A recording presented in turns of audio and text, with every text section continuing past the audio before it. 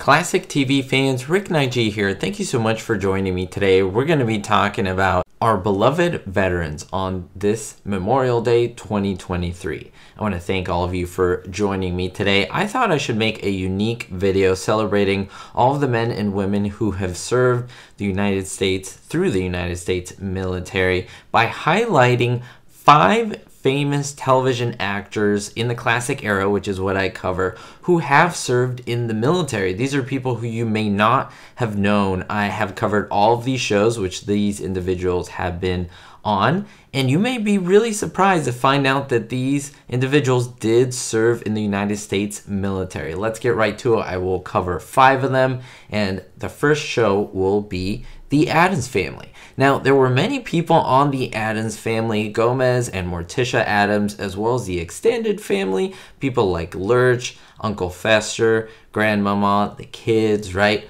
But you may not know that the man who played Uncle Fester was actually in the military. And it's it, there's a little more to it than that. He was one of the first young child actors playing opposed or playing with Charlie Chaplin. He was the little boy, he was the kid. He grew up, his name is, of course, Jackie Coogan.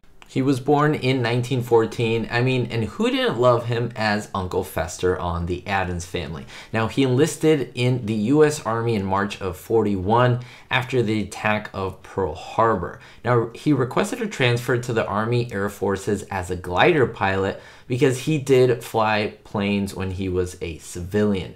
Now, he advanced or he graduated from an advanced glider school with a glider pilot aeronautical rating and the flight rank of an officer, and he volunteered for hazardous du duty while he was in the 1st Air Commando Group. In December of 43, he flew British troops behind enemy lines and landed them at night in a small jungle clearing 100 miles behind the Japanese lines in a Burma campaign. I think that is absolutely amazing. Wonderful actor, wonderful man, and a true hero.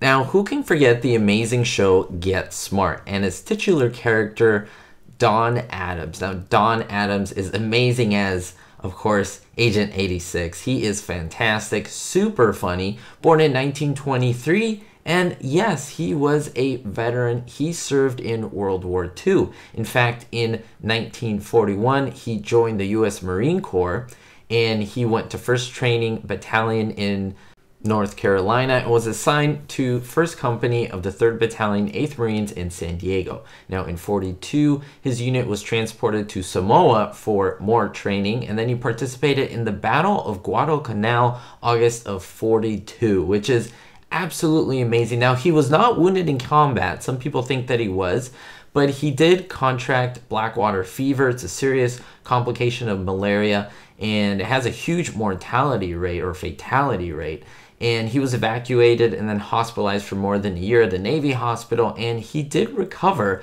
and he became a Marine drill instructor which is pretty amazing and he held the rank of a corporal. He was an expert marksman and he was very good at what he did. Not only was he a great actor but a true hero.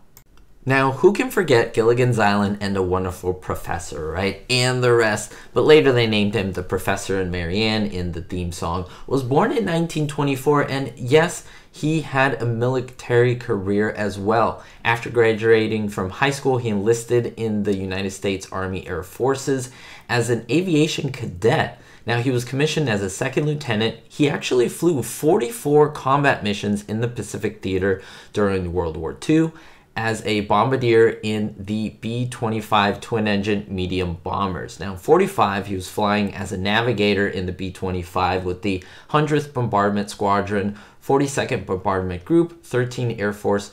His B-25 and two others were shot down during a low-level bombing and strafing run against Japanese military targets in the Philippine Islands.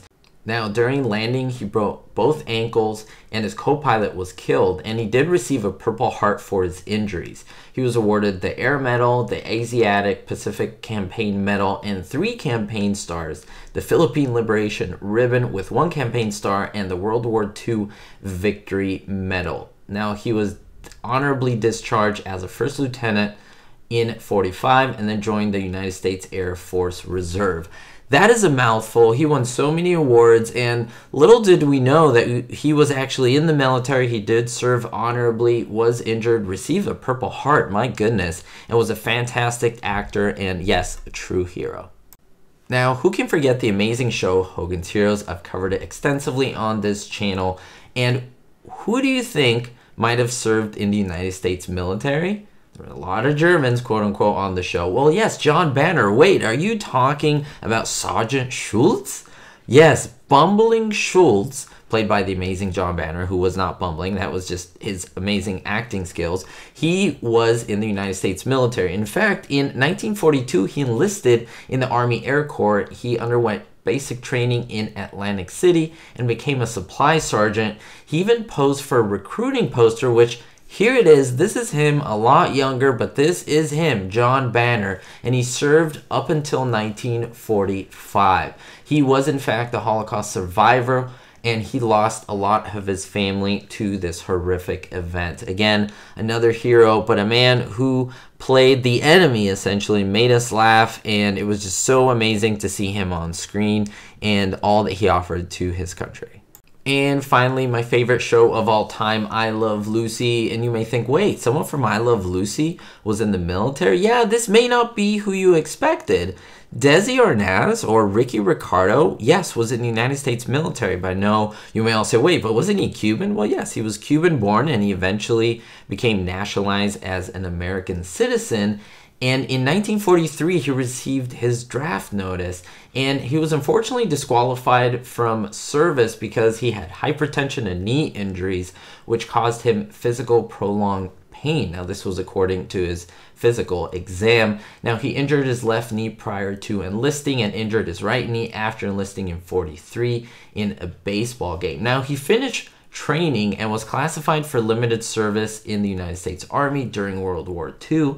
He was assigned to USO and he rose to the rank of staff sergeant, which is pretty amazing. He received the Good Conduct Medal from the Army, the American Campaign Medal, and the World War II Victory Medal as well. Now, he served two years, seven months, and 40 days, and his primary unit was the 9th Service Command Army Services Forces, uh, which is really amazing because he tried and he was able to bring celebrities to visit hospitals and boost morale for soldiers, but he still served and he was a fantastic example to many who you know were not originally Americans or naturally born here, but they later became American citizens. Absolutely amazing. Let me know if you knew about this. Super amazing information. A great way to honor the men and women who have served our country on this wonderful Memorial Day. Let me know your thoughts down below. Do you know any other actors or celebrities from the past, from the classic era that you'd like me to mention in future videos? Let me know and which one of these surprised you the most and stood out to you.